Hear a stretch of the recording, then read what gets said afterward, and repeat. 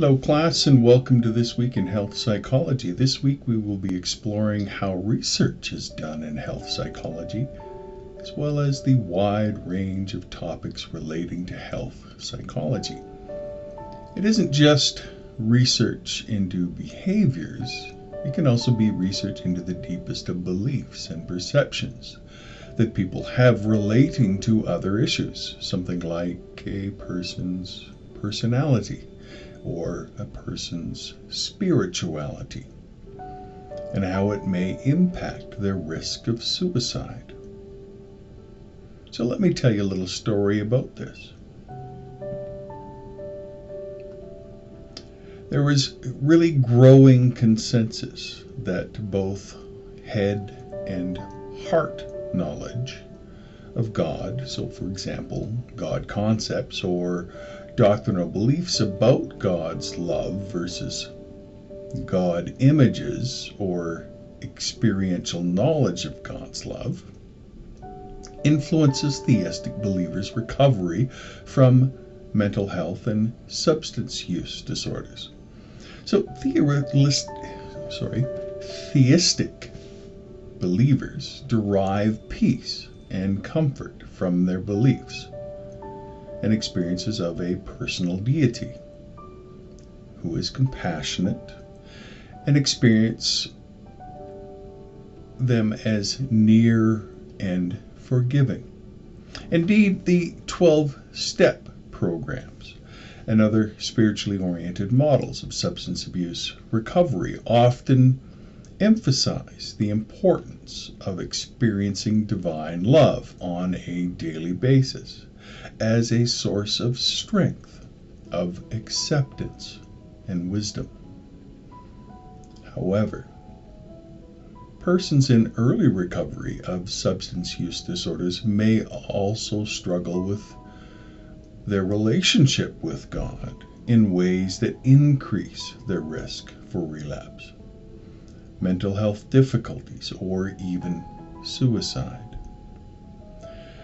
So, divine struggle, which is defined by researchers as the negative emotions focused on one's belief about their relationship with God, has been associated with suicidality in other high risk groups, such as military veterans.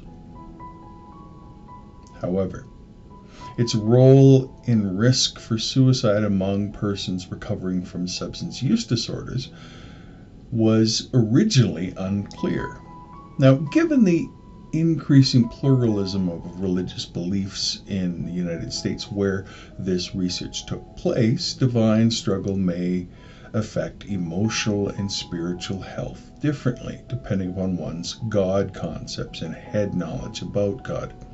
For example, when someone is re- re- in recovery, views if they view God as caring and loving, conflicting thoughts or feelings might invalidate these sacred beliefs that provide a foundation for faith. In contrast, when God is viewed as distant and cruel, and experiences of this divine struggle occur within the individual, that might not violate one's spiritual meaning system in such a distressing way. Now, there was the research done on this topic by Dr. Joseph Currier, where he investigated all of these possibilities with 144 men who were in their first six months of recovery after serious problems with alcohol. That was 75% of the participants, or other substances. Cocaine was over half and opiates was about a third.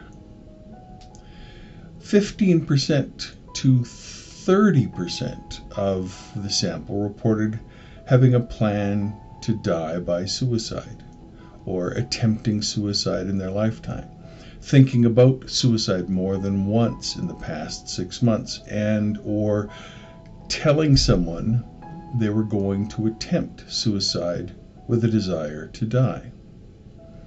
After accounting for recent suicidal ideation and mental health symptoms such as depression, post traumatic stress disorder, etc. Interactive links emerged between divine struggle and God concepts. Participants who viewed God in cruel or distant terms reported worse suicide risk in general. But divine struggle contributed more notably to perceived likelihood for attempting suicide to the extent to which their experiences were different from their conceptions of God's traits or attributes. So, what that means is overall, the major findings highlight the potential interplay between God concepts and divine struggle among persons in early recovery with substance use disorders. Specifically, when compared to cases in which God is viewed in a critical and harsh manner, divine struggle might engender a greater sense of existential dislocation that could lead to a suicide attempt among theistic believers who believe that God is loving and attentive to human beings' concerns. And essentially, what the researchers believe is happening here is there's a distress stemming from the discrepancy between the head and heart knowledge relating to God. Now, from a clinical standpoint, this study underscores the need to assess for head and heart knowledge related to God in theistic populations. And this should be associated with screening for suicide risk, particularly among theistic believers. And this should help in the assessment process for those recovering from substance use disorders. And the researchers therefore believe that it's important to consider spiritually integrated treatment options and to give some thought to the doctrinal beliefs and God concepts of the clients in that process. So, some interesting research that even beliefs in spirituality have a place within the healthcare system. Now, let's go on and explore more about health beliefs and the research that's done in those areas because that is our theme for this week. So, changes in causes of death throughout the 20th century can, in part, be explained in terms of changes in behavior related illnesses such as coronary heart disease, cancers, and HIV. And so we will begin our lecture this week by examining some lay theories of health and then explore theories of health behaviors and the extent to which health behaviors can be predicted by health beliefs, such as the attributions that cause health and behavior choices. Perceptions of risk and the stages of change model will also be considered. In particular, we will describe the integration of these different types of health belief in the form of models. So, we will look at the health belief model, the protection motivation theory, the theory of reasoned action, the theory of planned behavior, and health action process. We will also explore problems with these models and describe studies that address the gap between behavioral intentions and actual behavior. We will then explore how these theories can be used for developing interventions designed to change behavior. And finally, describe research examining the longer term maintenance of behavioral change. So, what is health behavior? Well, researchers define three types of health related behaviors. They suggest that a health behavior was a behavior aimed at preventing disease, such as eating a healthy diet. An illness behavior was a behavior aimed to seek remedy, such as going to the doctor. And a sick role behavior was an activity aimed to get well, such as taking prescribed medication or rest. Health behaviors were also defined by researchers in terms of health impairing habits, which are often called behavioral pathogens, such as smoking, eating a high fat diet, or health protective behaviors, which are defined as behavioral immunogens, such as attending a health check.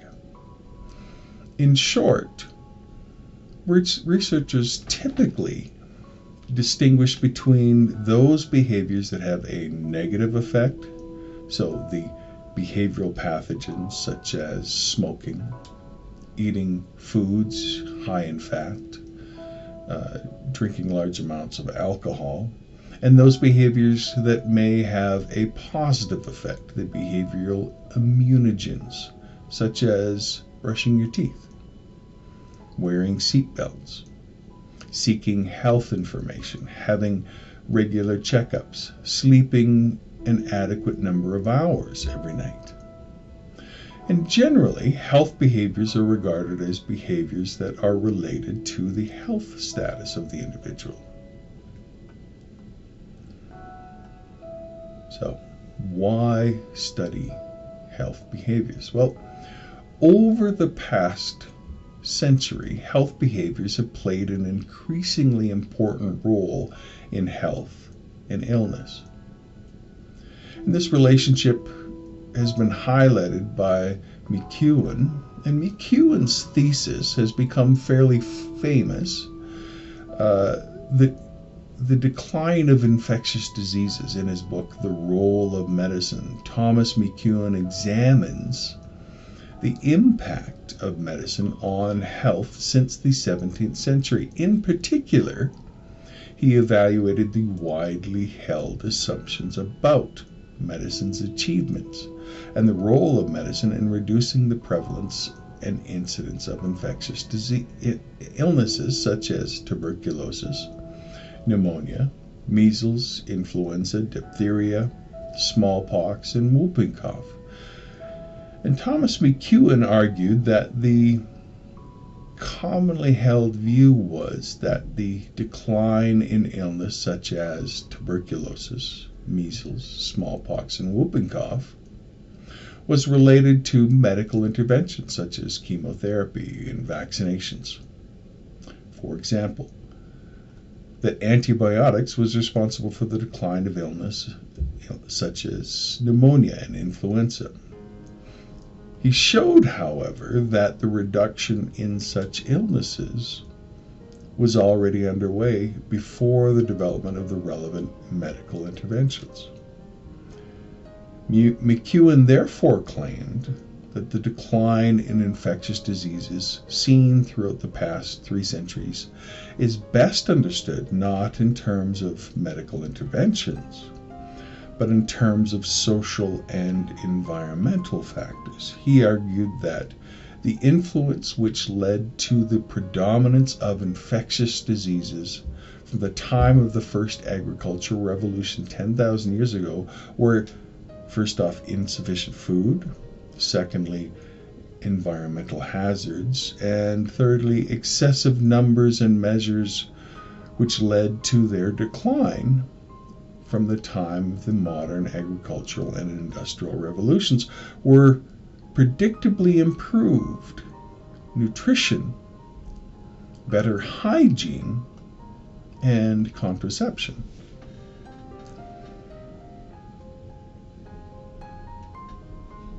So, the role of behavior becomes extremely important in McKeown's view. And McKeown also examined health and illness throughout the 20th century. And he argued that contemporary illness is caused by influences which the individual determines by his behavior. Things like smoking, eating, exercise, and the like. And it claimed that it is on modification of personal habits such as smoking and sedentary living that health primarily depends. Now, to support this thesis, McKeown examined the main causes of death in affluent societies and observed that most dominant illnesses, such as lung cancer, coronary heart disease, and cirrhosis of the liver, are caused by behaviors. Behavior and mortality, therefore, is that 50% of mortality from the 10 leading causes of death is due to behavior.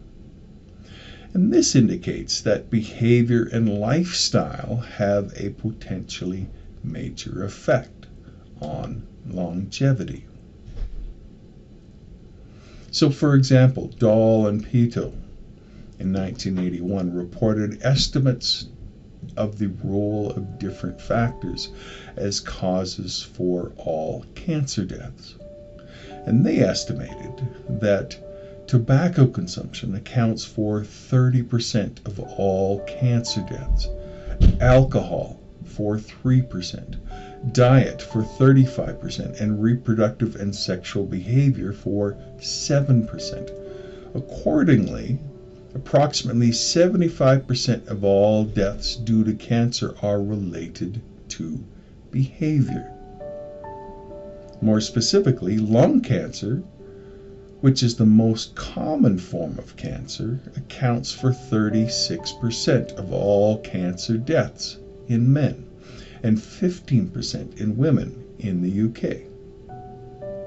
And it's been calculated that 90% of all lung cancer mortality is attributed to cigarette smoking, which is also linked to other illnesses such as cancers of the bladder, the pancreas, the mouth, the larynx, the esophagus, and coronary heart disease. Similarly, in 2004, other researchers concluded that health behaviors such as smoking, poor diet, and sedentary lifestyle can cause serious health problems and are associated with a range of cancers, of diabetes, of health disease, and mortality.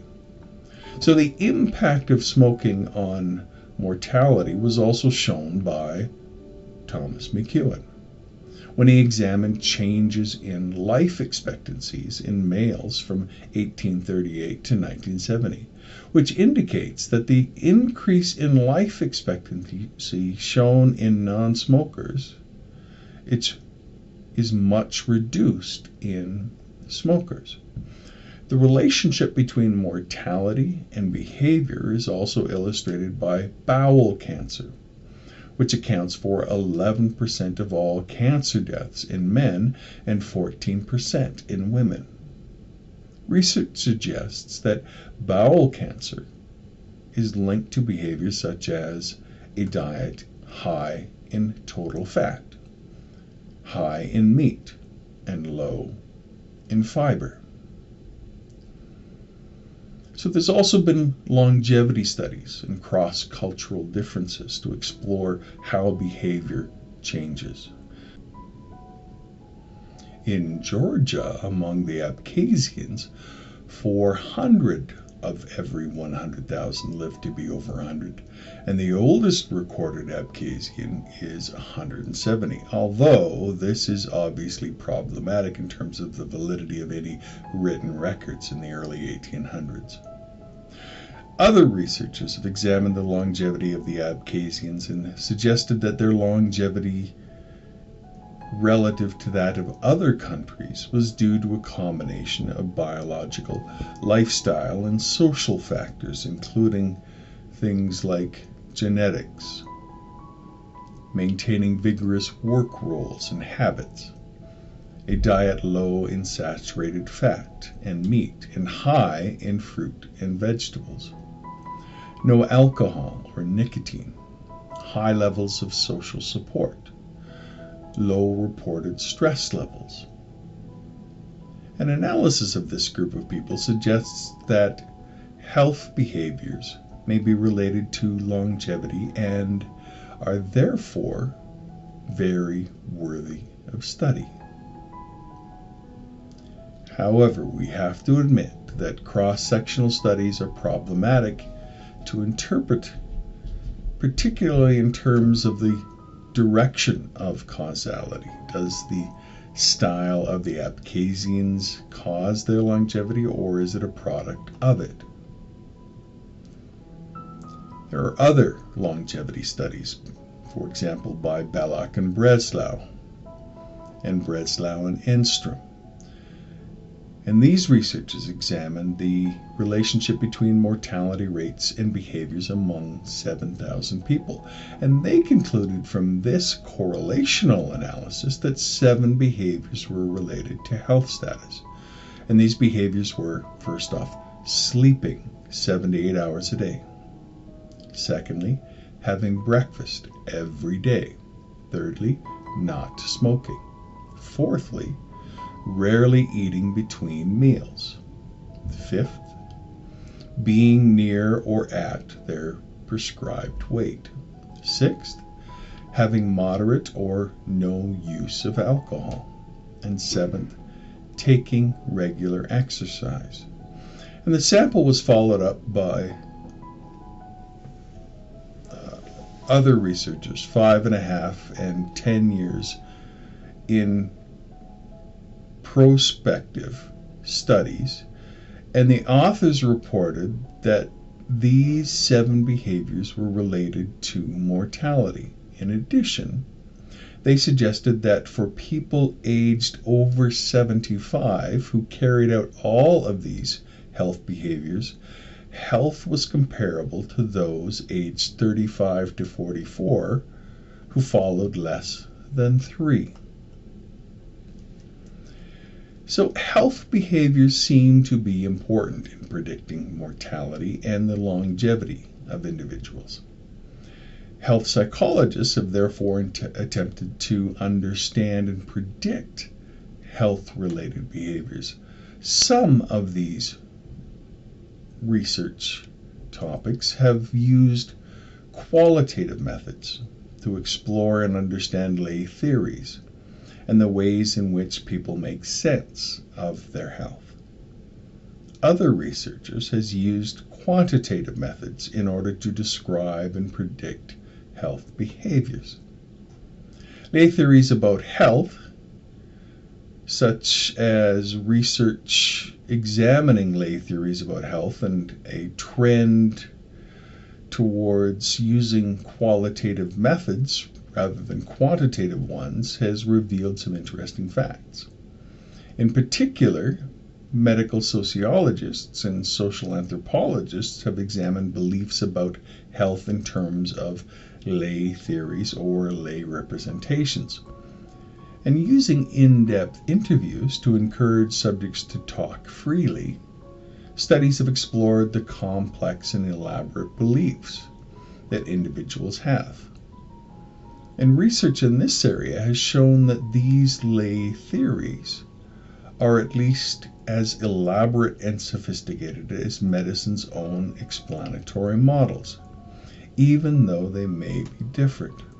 So, for example, medicine describes upper respiratory tract infections such as the cold, common cold as self limiting illnesses caused by viruses.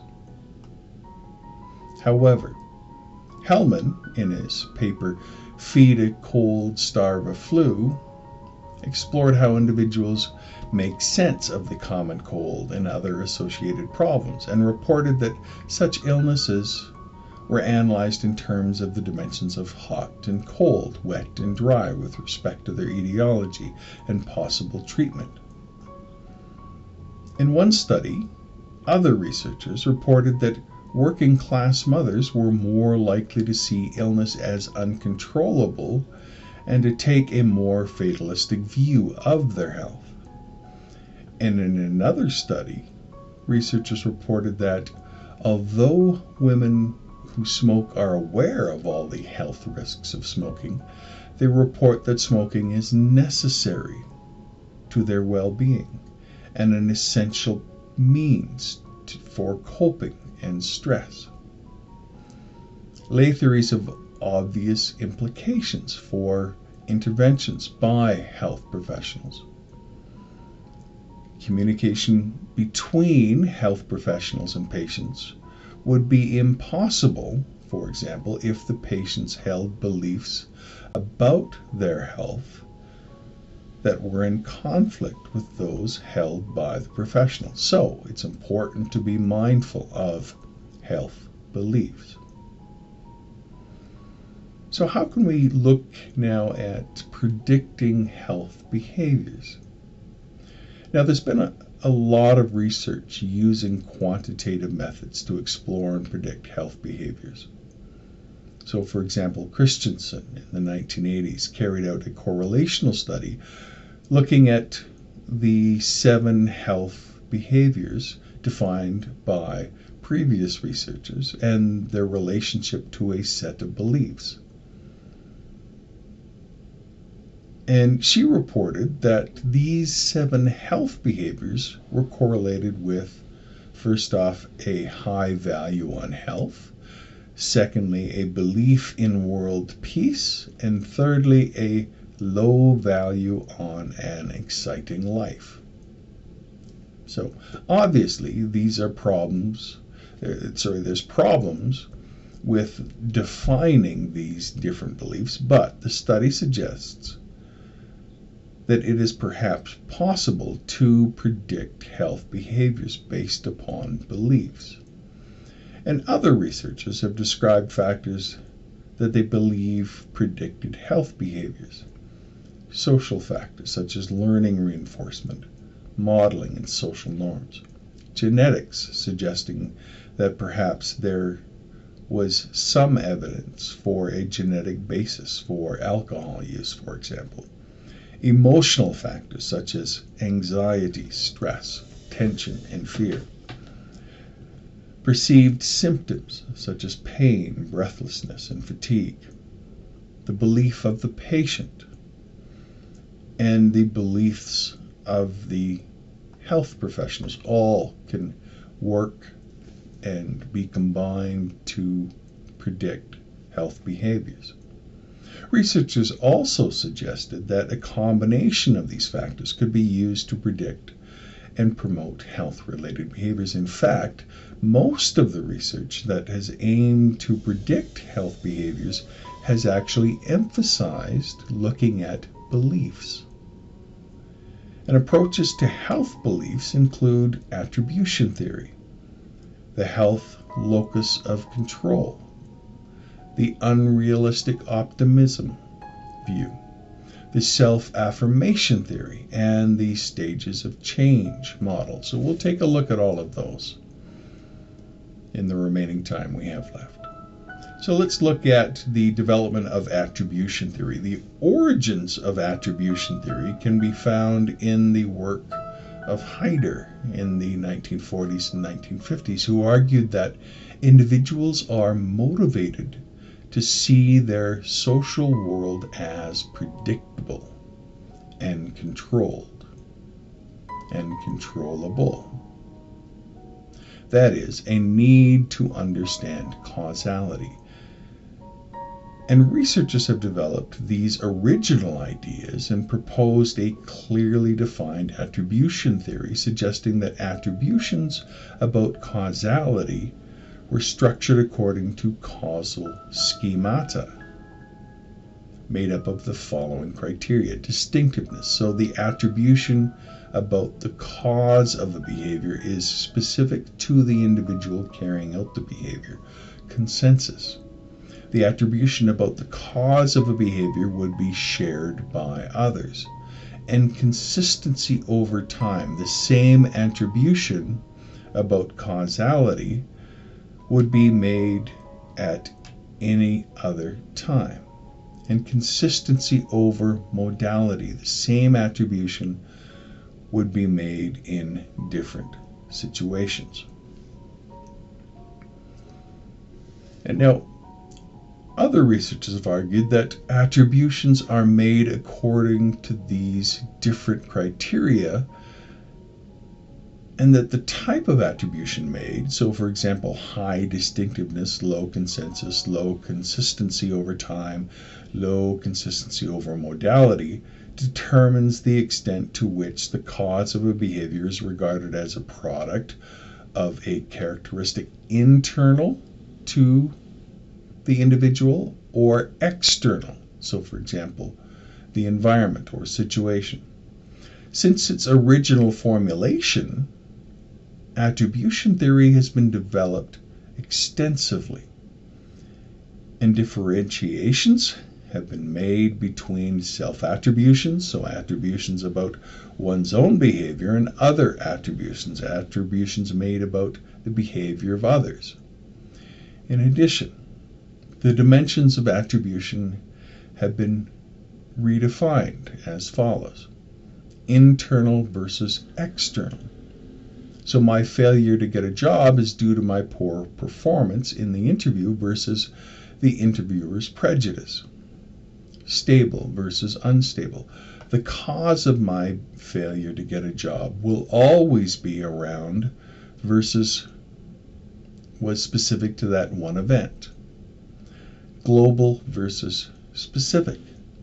For example, the cause of my failure to get the job influences other areas of my life versus on, it only influences this specific job interview.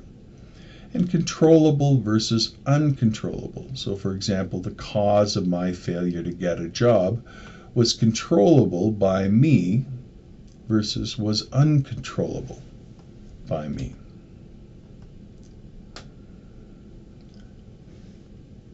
Now, Brickman and other researchers have also distinguished between attributions made about the causes of a problem and attributions made about the possible solution.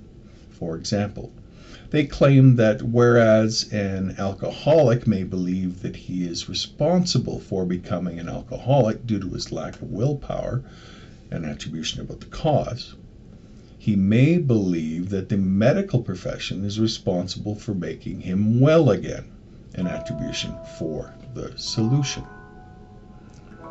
So, attributions for health related behavior um, is another topic that we should take a look at here. And attribution theory has been applied to the study of health and health related behavior. So, researchers back in the 1970s interviewed 80 people about the general causes of health and illness and found that health is regarded as internal to the individual and illness is seen as something that comes into the body from the external world.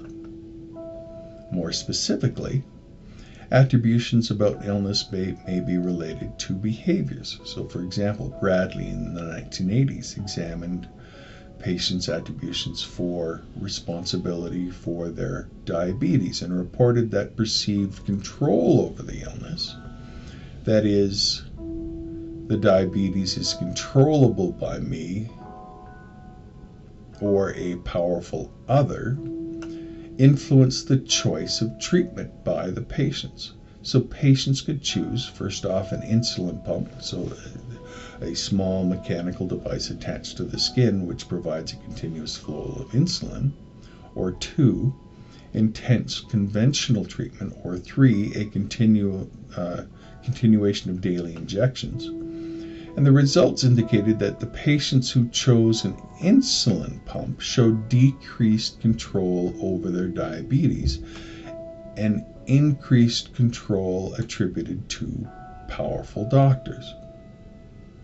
Therefore, If an individual attributed their illness externally and felt that they were personally were not responsible for it, they were more likely to choose the insulin pump and were more likely to hand over responsibility to the doctor. Now, a further study by King, again in the 1980s, examined the relationship between the attributions for an illness and attendance at a screening clinic for hypertension. And the results demonstrated that if the hypertension was seen as external but controllable by the individual, then they were more likely to attend the screening clinic.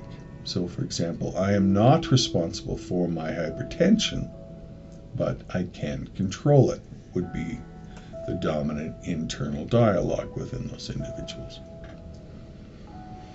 Let's also take a look at health locus of control.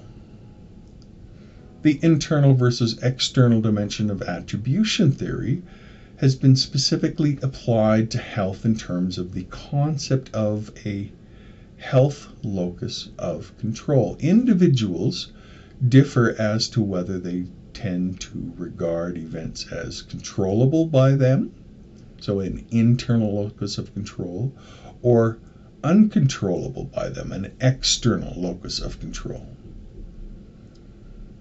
And Wallston and Wallston have developed a measure of the health locus of control, which evaluates whether an individual regards their health as controllable by them. So, for example, I am directly responsible for my health, whether they believe their health is not controllable by them and in the hands of fate. So, for example, whether I am well or not is a matter of luck or whether they regard their health as under the control of powerful others. So, for example, I can only do what my doctor tells me to do. Health locus of control has been shown to be related to whether an individual changes their behavior. So, for example, giving up smoking, and to the kind of communication style they require from health professionals. For example, if a doctor encourages an individual who is generally external to change their lifestyle, the individual is unlikely to comply if they do not deem themselves responsible for their health. Now, although the concept of health locus of control is intuitively interesting, there are some problems with it. Things like is the health locus of control a state or trait? So, am I always internal, for example? Is it possible to be both external and internal in your locus of control? Or is going to the doctor for help external so the power of the doctor is what will make you well, or internal. I am determining my health status by searching out appropriate interventions. So there is some control and clarity that could still be taken in that kind of research. Next, let's take a look at unrealistic optimism. So, Weinstein, a researcher back in the 1980s, suggested that one of the reasons that people continue to practice unhealthy behaviors is due to inaccurate perceptions of risk and susceptibility. In other words, their unrealistic optimism. Now, he asked subjects to examine a list of health problems and to state, compared to other people of their age and sex, what are your chances of getting the problem? Were they greater than, about the same as, or less than theirs? And the result of the study showed that most subjects believed that they were less likely to get the health problem. And Weinstein called this phenomenon unrealistic optimism, as he argued that not everyone can be less likely to control an illness, or sorry, to contract an illness. So Weinstein described four cognitive factors that contribute to unrealistic optimism. First, lack of personal experience with the problem. Second, the belief that the problem is preventable by individual action.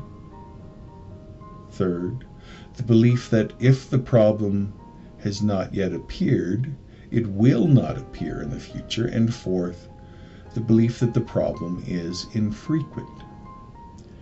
And these factors suggest that perception of their own risk is not a rational process.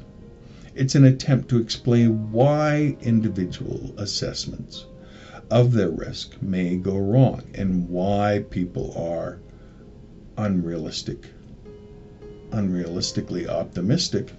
And so Weinstein argued that individuals show selective focus.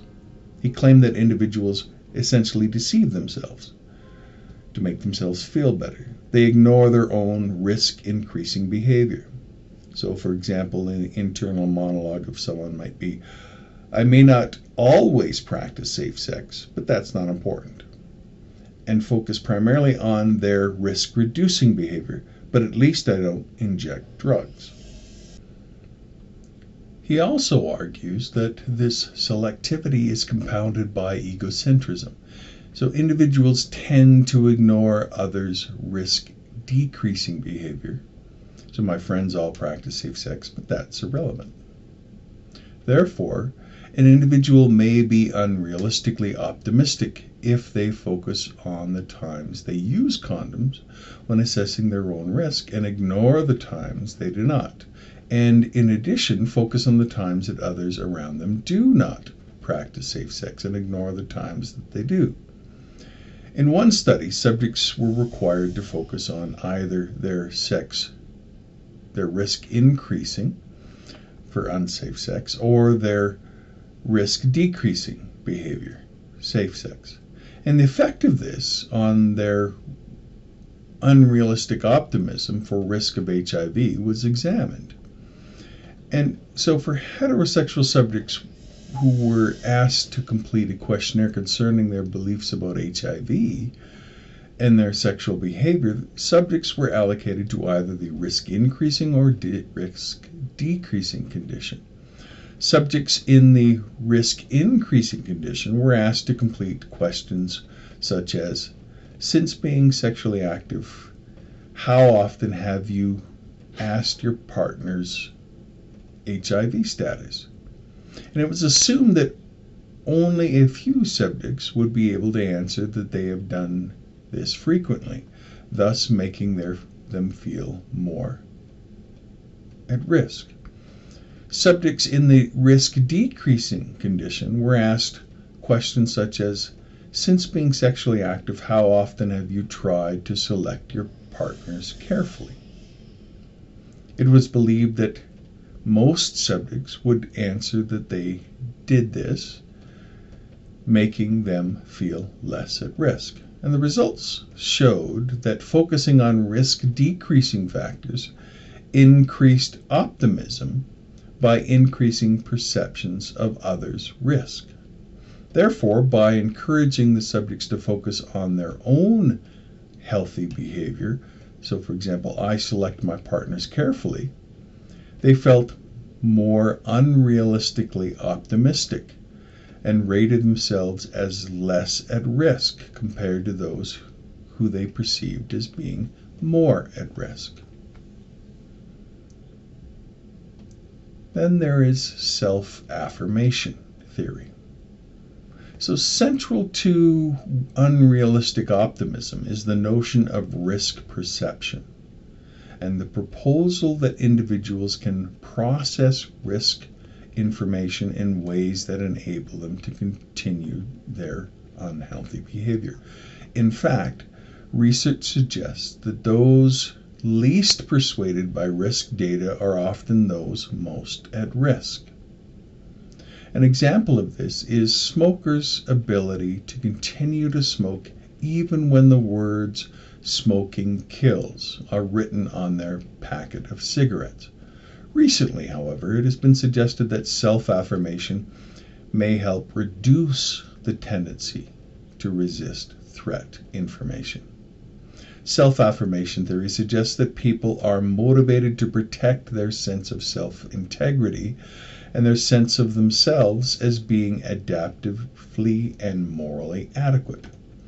Therefore, present, if presented with information that threatens their sense of self, they behave defensively. However, if given the opportunity to self affirm in another domain of their lives, then their need to become defensive is reduced. For example, if a smoker thinks that they are a sensible person when confronted with a message that says that smoking is not sensible, their integrity is threatened, and they behave defensively by blocking the information. If given the chance, however, to think about other area, another area in which they are sensible, then they are less likely to become defensive about the anti smoking message. A couple of recent studies have tested the impact of self affirmation on the processing of information about the link between alcohol and breast cancer in young women and smoking in young smokers. In the first study, young women who were drinking above the recommended limit were randomized either to the self affirmation condition or the control condition and those in the self affirmation condition were asked to write about their most important value and why it was important to them. And all were then given a health message about the links between excessive alcohol intake and breast cancer. The results showed that those who had self affirmed were more accepting of the health message. In a similar study, smokers were asked to study four images depicting the dangers of smoking, and half underwent a self affirmation task. And these results also showed that those who had self affirmed rated the images as more threatening and reported higher levels of self efficacy and intentions to stop smoking. Therefore, it would seem that although people can deny and block the risks associated with their behavior, this defensive approach is reduced if they are encouraged to self affirm. And this approach then has implications for a wide range of health related behaviors and the development of more effective interventions to change behavior. Then there is the stages of change model. And the trans theoretical model of behavior change was originally developed by researchers in the 1980s as a synthesis of 18 different therapies describing the process involved in eliciting and maintaining change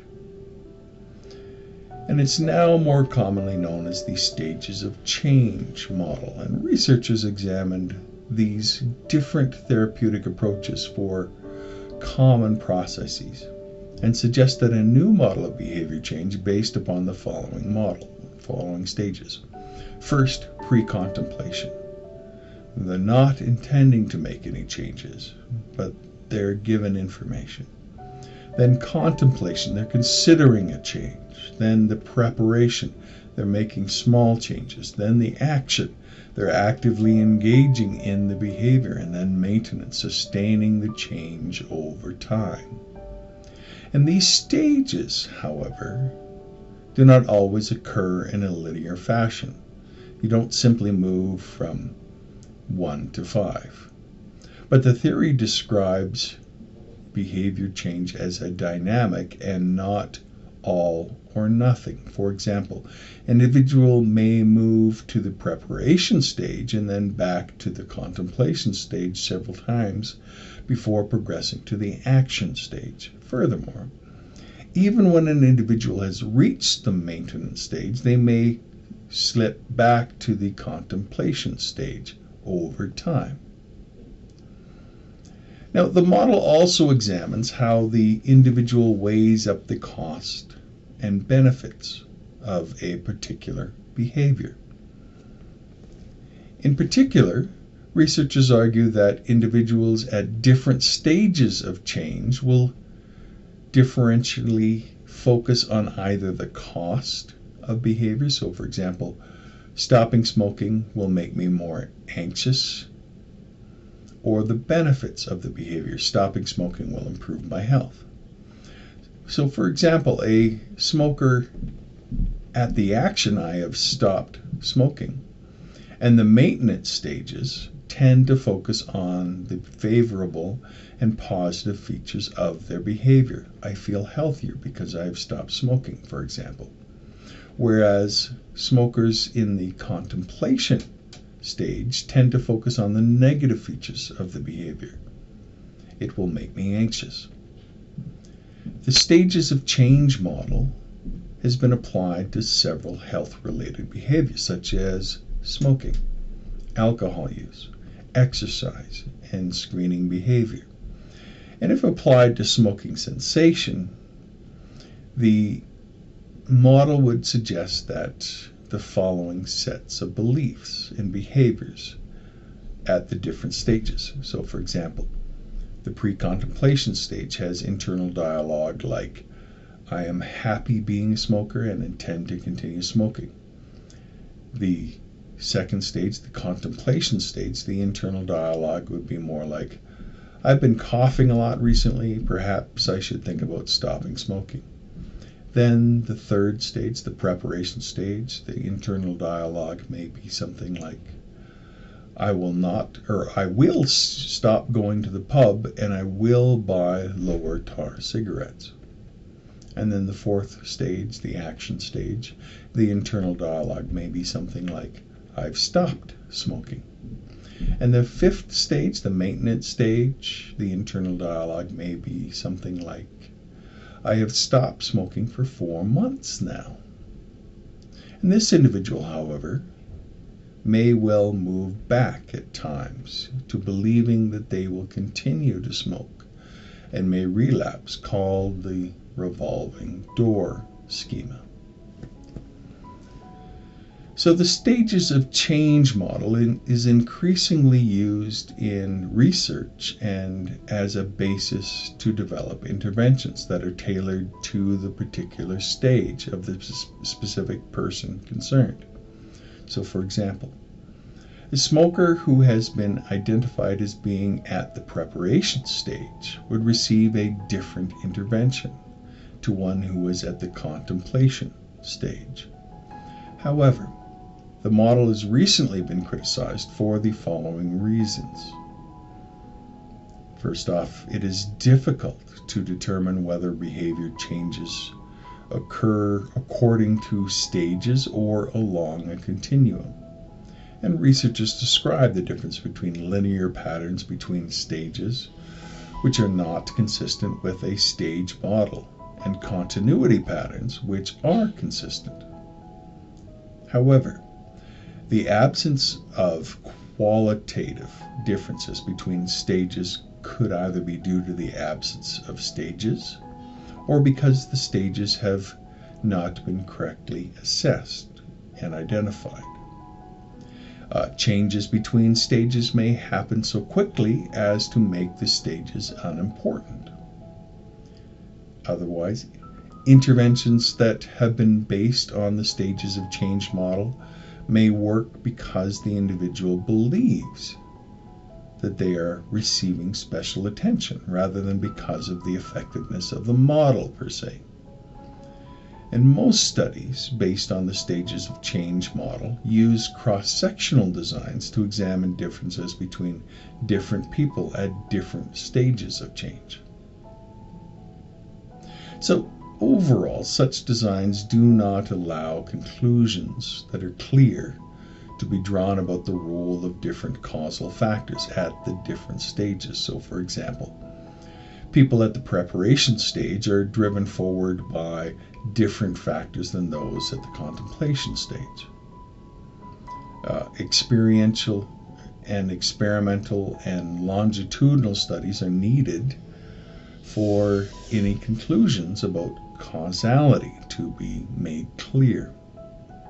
And the whole concept of stage is not a simple one as it includes many variables such as current behavior, uh, the quit attempts, the intention to change, and time since quitting. So there's lots of different issues. And so, in summary, attribution theory and the health locus of control emphasize attributions for causality and control. Unrealistic optimism and self affirmation theory focus on perceptions of susceptibility and risk.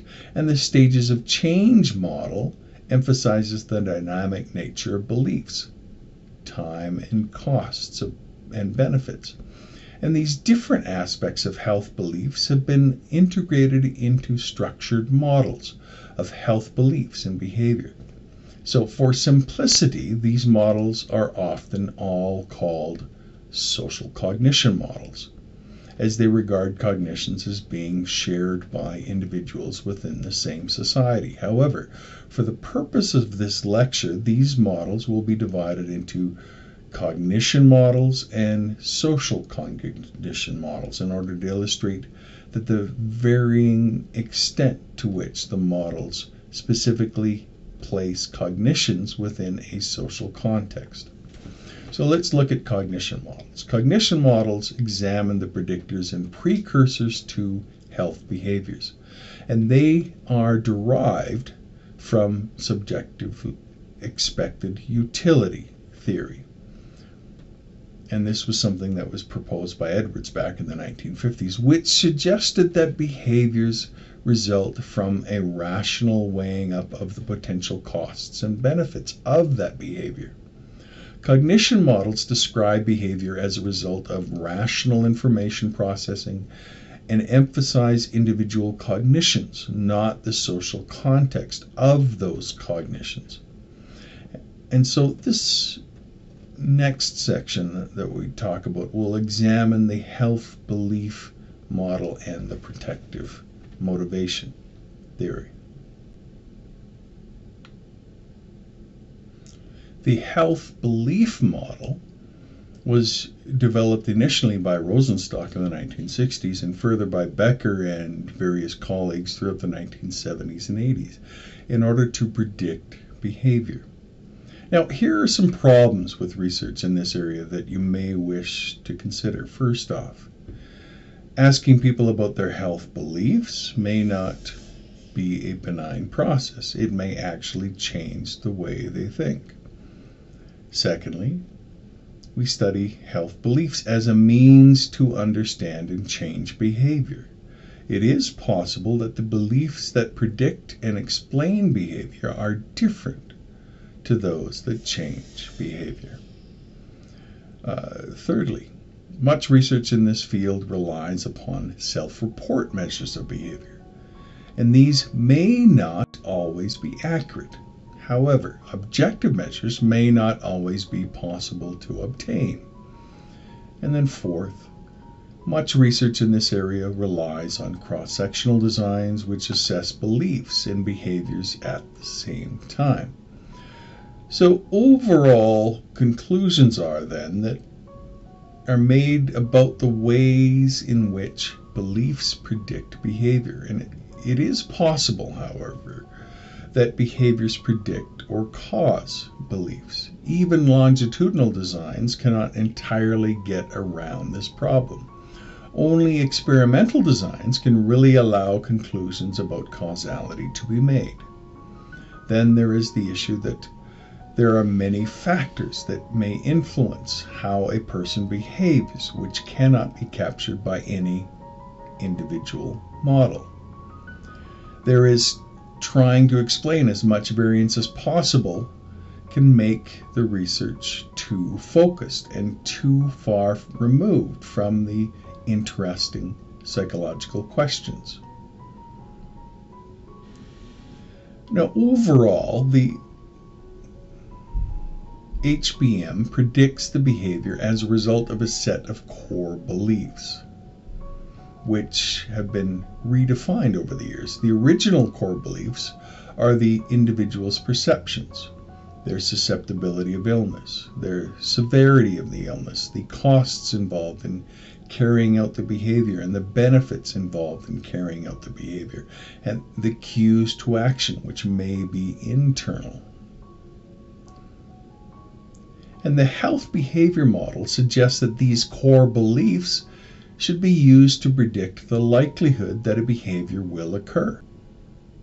Now, in response to criticisms, the health behavior model has been revised originally to add the construct health motivation to reflect an individual's readiness to be concerned about health matters. So, for example, I am concerned that smoking might damage my health.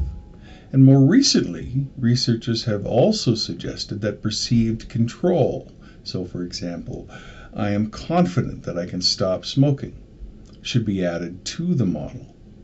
And using the health behavior model, then, if we apply the health related behaviors such as a screening for cervical cancer, the health behavior model predicts regular screening for cervical cancer if an individual perceives that she is highly susceptible to cancer in the cervix, that cervical cancer is a severe health threat, that the benefits of regular screening are high, and that the costs of such an action are comparatively low. And this is also true if she is subjected to cues to action that are external, such as a leaflet from the doctor's waiting room, or internal, such as a symptom perceived to be related to cervical cancer, whether that is correct or not, uh, such as pain or irritation. And when using the new amended health behavior model, the model would also predict that a per- woman should attend for screening if she is confident that she can do so and if she is motivated to maintain her health. So, health information ha- aims to increase knowledge, and several studies report a significant relationship between illness knowledge and preventative health behavior. Researchers report that knowledge about breast cancer, for example, is related to regular mammograms. Several studies have also indicated a positive correlation between knowledge about breast self examination and breast cancer and performing breast self examinations. One study manipulated knowledge about PAP tests for cervical cancer by showing subjects an informative videotape and reported that the resulting increased knowledge was related to future healthy behavior. Conflicting findings, however, um, have shown through several studies have reported conflicting findings about this. So researchers have found that high healthy behavioral intentions are related to low perceived severity, not high as predicted. And several studies have suggested an association between low susceptibility, not high, and healthy behavior. So, when all of this is applied to the health behavior model to cervical cancer, and used to examine which factors predict cervical screening behavior, the results suggest that barriers to action was the best predictor of behavioral intentions, and that the perceived susceptibility to cervical cancer was also significantly related to screening behavior. Now, there are some criticisms of the health behavior model. The health behavior model has been criticized for having some conflicting results. And it's also been criticized for having several other weaknesses, including the following. It's too focused on conscious processing of information. So, for example, is toothbrushing really determined by weighing the pros and cons of it? Its emphasis on the individual So, for example, what role does the social and economic environment play? The interrelationship between the different core beliefs. So, for example, how should these be measured and how should they be related to each other? And is the model linear or multifactorial? There's the absence of a role of, for emotional factors such as fear and denial. So there are a number of issues that are lead to criticism of the health behavior model, just like other models. Uh, no model really is above criticism. Let's go on now and take a look at this uh, protection motivation theory. And although there is much contradiction in the literature surrounding the health behavior model, researchers has used aspects of this model to predict screening for things like hypertension, screening for cervical cancer, genetic screening, exercise behavior, decreased alcohol use, changes in diet and smoking.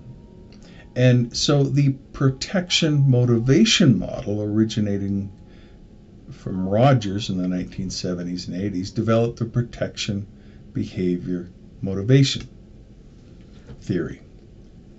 And protection motivation theory expands really on the health behavior model and includes additional factors. So the components of the protection motivation theory uh, the original protection motivation theory claimed that health related behaviors are a product of four components. First off, severity.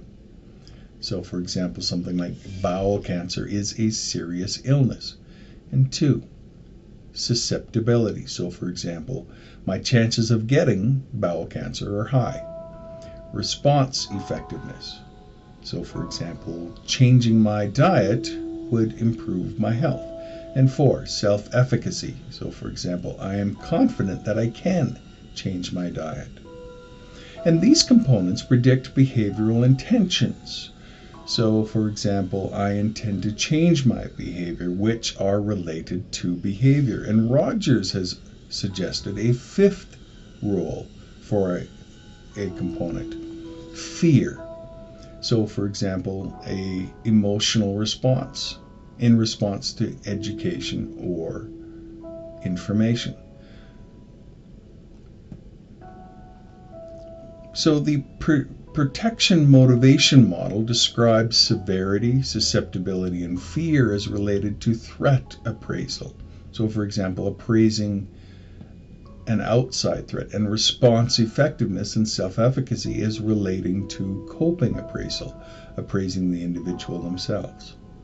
So, according to the protection motivation theory, there are two types of sources of information environmental, so things like verbal persuasion and observational learning, and intrapersonal, so for example, prior experience. And this information influences the five components of protection motivation theory self efficacy, response effectiveness, severity, susceptibility, and fear, which then elicit either an adaptive coping response, for example, a behavioral intention, or a maladaptive coping response, avoidance or denial. So, using the protection motivation theory, if applied to dietary change, for example, the protection motivation theory would make the following predictions. Information about the role of a high fat diet in coronary heart disease would increase fear, increase the individual's perception of how serious coronary heart disease was, their perceived severity, and increase their belief that they were likely to have a heart attack, perceived susceptibility, and susceptibility. If the individual also felt confident that they could change their diet, self efficacy, and that this change would have beneficial consequences, response effectiveness, they would report high intentions to change their behavior, behavioral intentions. And this would be seen as an adaptive coping response to the information. And there's been some support for the protection motivation theory. Researchers have given women information about breast cancer, for example, and examined the effect of this information on the components of the protection motivation theory and the relationship to the woman's intentions to practice breast self examinations. And the results showed that the best predictors of intentions to practice breast self examinations was response effectiveness, severity, and self efficacy. In a further study, the effects of persuasive appeals for increasing exercise on intentions to exercise were evaluated using the components of this protection motivation theory. And the results showed that susceptibility and self efficacy predicted exercise intentions, but that none of the variables were related to self reports of actual behavior. In another study, researchers manipulated dental students' beliefs about tooth decay using persuasive communication. And the results showed that the information increased fear and that severity and self efficacy were related to behavioral intentions. More recently, researchers have also used the protection motivation theory to predict a child's adherence to wearing an eye patch parents of children diagnosed with eye problems completed a baseline questionnaire concerning their beliefs and a follow up questionnaire after two months describing the child's level of adherence. The results showed that perceived susceptibility and response costs were significant predictors of adherence. So, We've taken a look at several models here. We've taken a look at the protection motivation theory. We've taken a look at the health behavior uh, model and sorry the health belief model and we've taken a look as well at several social cognition models stages of change model etc all of these models give different views of how behavior is changed and how we can influence individuals through education to help them to live healthier lives. And I hope you uh, appreciate the complex dynamics of this field and appreciate just how powerful self deception can sometimes be in allowing individuals to continue with their unhealthy behavior. I hope you enjoyed this week, and I'll see you next week. You take care. Bye bye.